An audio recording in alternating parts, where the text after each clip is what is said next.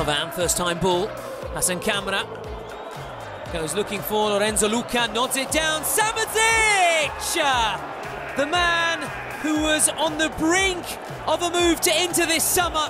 The Serbian star shining bright and firing Udinese level in the right place at the right time.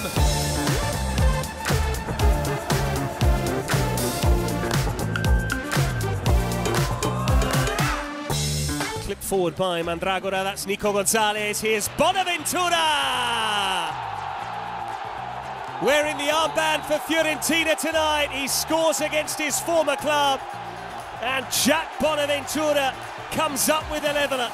No danger of him not celebrating this one.